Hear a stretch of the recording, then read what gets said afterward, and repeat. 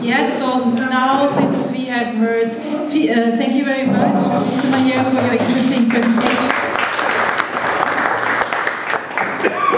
And now that we found out that the hardcore, the French plans won't exist before 2018, we will now discuss the question what happens if something happens until then. And Mr. Mayer-Rus will now speak to us, and me as interpreter take a break, because you explained how the communication works here in Luxembourg, and how much faster it is without interpreters. Yes, good morning everybody. Um, first, I know how difficult it is to translate for days, of obviously can take a break, but also I want to give, because it fits so well to the topic, I want to, give you a flavor of what it means in emergency to communicate in different languages in consecutive translations. Mm -hmm. We do it French, German, today we do it English, German. Ähm, also nicht nur Patricia eine kleine äh, Pause zu gönnen, werde ich meinen Vortrag äh, selbst übersetzen und consecutive übersetzen. Ich werde das nicht so gut tun als Sie, ähm, aber dann sieht man, was das in der Realität bedeutet bei einem Notfall, wenn wir Französisch, Deutsch ähm, grenzüberschreitend konsekutiv übersetzen. Das ist nicht ganz einfach und da geht einiges verloren. Und das will ich mir gut machen als um, Okay, short presentation myself. Some of you know me, you have seen me in several presentations. My name is Patrick Majoris.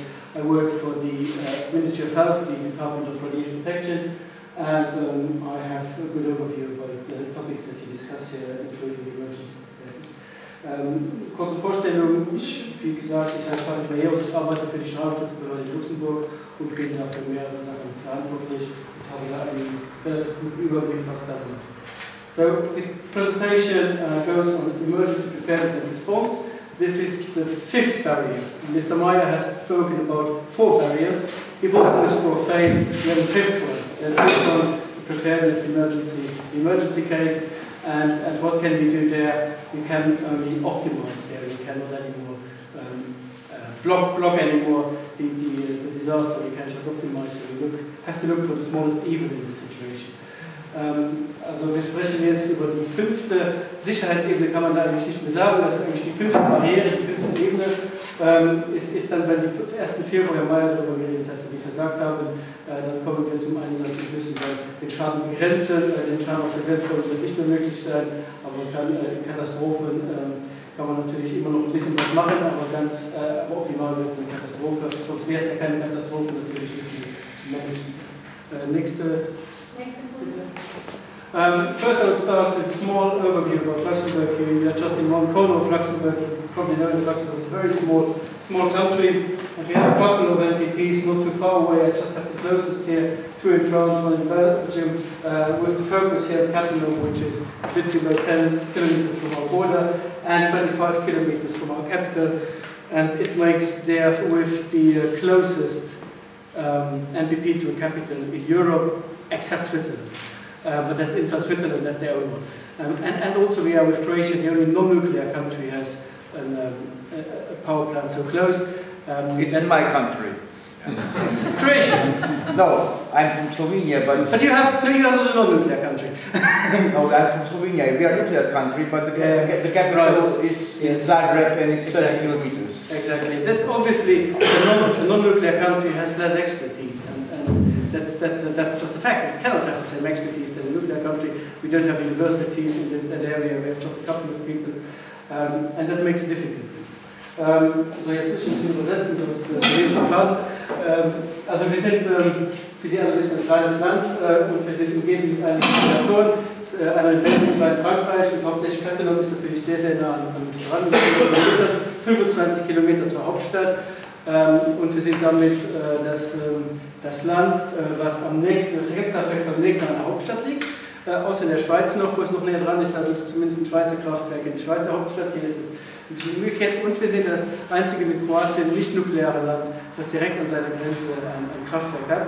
Und es ist natürlich schwieriger für ein nicht nukleares Land mit weniger Expertise, mit keiner Universität, die sowas studiert, ähm, ähm, genügend Expertise im Land zu haben, um sowas dann auch zu überschauen. Also das ist bei uns recht überschaubar mit wenigen Leuten. Das ist sicherlich eine, Situation, die man in größeren Ländern nicht so vorstellen kann. Um, both that uh, situation is, is, very, is very um, uh, particular in Luxembourg because we have a, a rising population of half a million, very densely populated in the south, Um, and then we have a big foreign population, um, 170 nationalities, consecutive translation. Um, uh, then we have a working population that's relatively big, and this doesn't come only from the country, so it comes from the, from the other countries in, in, into our country. Um, this is difficult in an emergency when all those people are in the country and you have to take care of them. Uh, it's, it's, it's, not easy. The only advantage from this, from this is that we have some experience in evacuating them. We do this every evening at, at 5 o'clock. So from 5 to, to 8 we evacuate them back to their countries. So there we know it's, there we know it's feasible to do it. And we also know when once it's work, it's not working anymore. So, um, and I come back to it later. Um, so, also äh, schnell auf Deutsch, dann, äh, wir haben eine, eine halbmillionige Bevölkerung, die dauernd wächst. Äh, wir haben äh, speziell in Luxemburg haben einen sehr großen Anteil an vielen verschiedenen Nationalitäten, 170 und auch eine sehr große Bevölkerung. Also fast die Hälfte der, der, der Menschen in Luxemburg sind keine Luxemburger und sind dann verteilt auf 170 Nationalitäten. Was das dann bedeutet bei nacheinanderfolgenden Übersetzungen, ähm, möchte ich nicht ausmalen. Ähm, und wir haben eine Spezialität, dass wir sehr viele ähm, Grenzgänger haben, die bei uns arbeiten, also mittlerweile 160.000, die jeden Tag nach Luxemburg kommen und das zu managen, wenn gerade ein Unfall beginnt, ist natürlich sehr schwierig. Man muss natürlich alle diese Menschen, die ja nicht hier wohnen, sondern nur hier arbeiten, kommen, irgendwie, irgendwie mit berücksichtigen. Das ist, das ist äh, alles andere einfach. Ähm, ähm, das einzige Vorteil, den wir dabei haben, wir evakuieren diese 160.000 jeden Abend wieder zurück in ihre Länder. Das heißt, da haben wir eine, eine kleine Erfahrung, aber wir wissen, das klappt. Bei schönem Wetter klappt das in vier Stunden. Ähm, bei Schneefall, dann ist es die ganze Nacht und dann ist es richtig, richtig düster.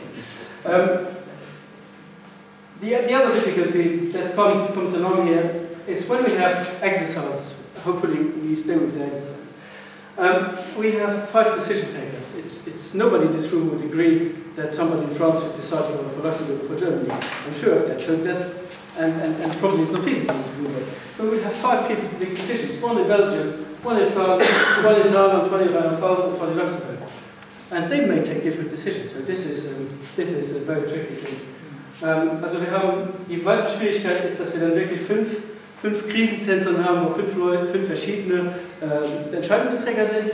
Ähm, und äh, es wird sicherlich hier niemand äh, zustimmen, dass man da sagt, Frankreich entscheidet für die anderen Länder mit äh, oder Luxemburg entscheidet für die anderen Länder mit. Das wird wahrscheinlich niemand wollen. Und dann bleibt es dabei, dass es fünf, fünf äh, Entscheidungsträger gibt. Ähm, Saarland, Rheinland-Pfalz, Luxemburg, Frankreich und Belgien. Ähm, und, äh, und, das ist natürlich eine Schwierigkeit, die, die, es anderswo in Europa nicht so gibt. Deshalb ist Catalan auch als, als Fallstudie sehr interessant. And next, please.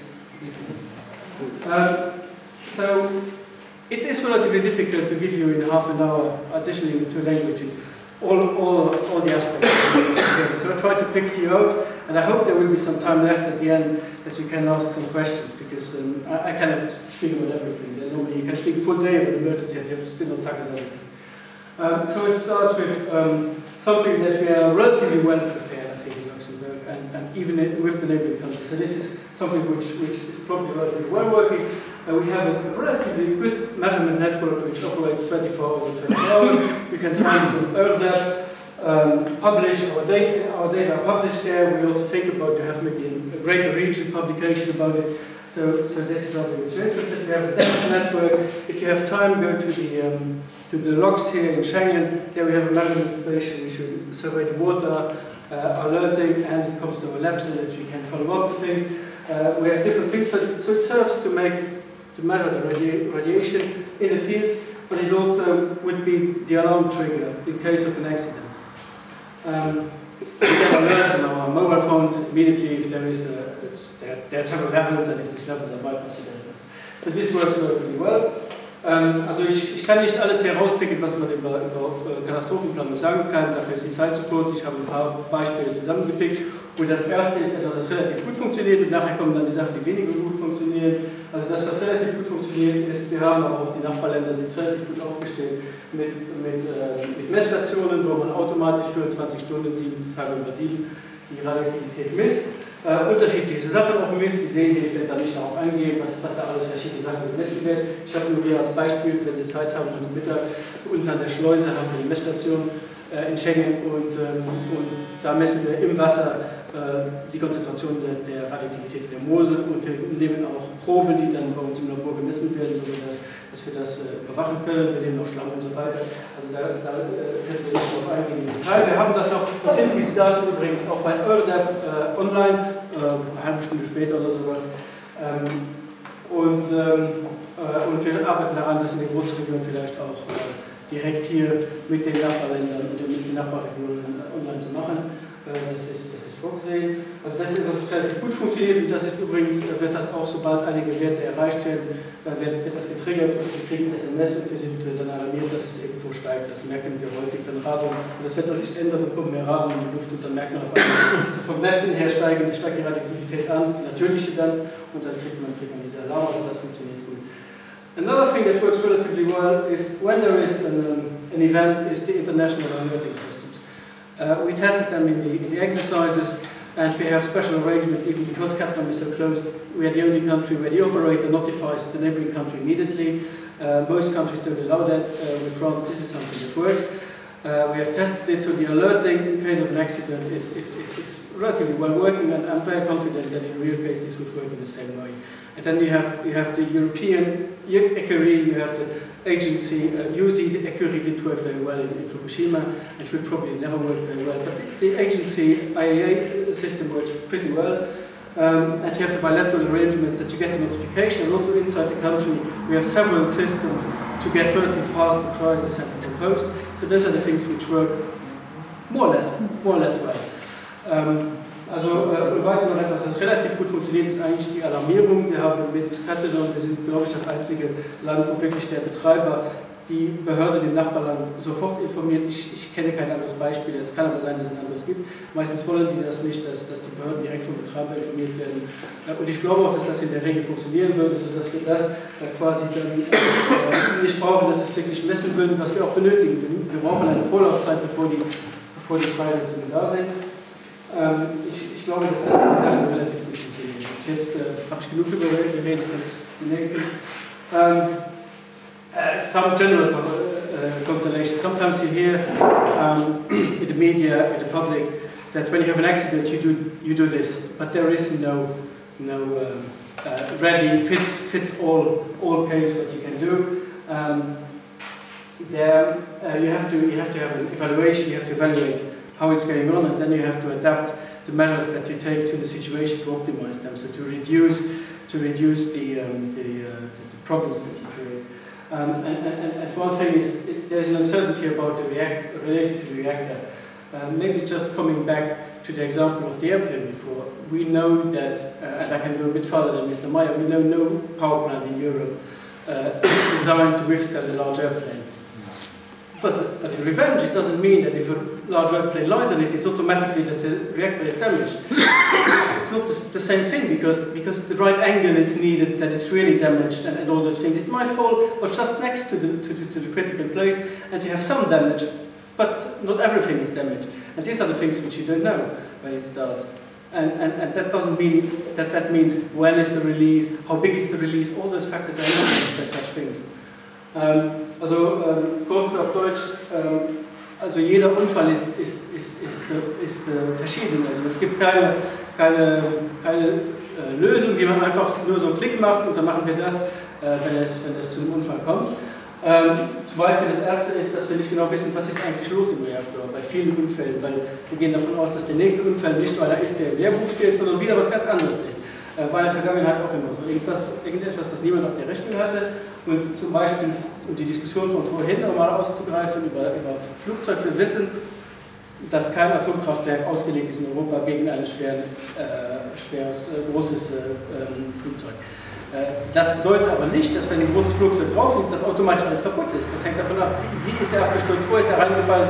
Und, und, einige Sachen werden kaputt gehen, andere Sachen werden nicht kaputt gehen. Das heißt, wir wissen nicht, wie schwer wird der Unfall sein. Vielleicht, vielleicht Vielleicht sind noch einige Barrieren intakt und die werden noch funktionieren. Vielleicht ist alles kaputt und das geht ganz schnell. Und das, das sind die Sachen,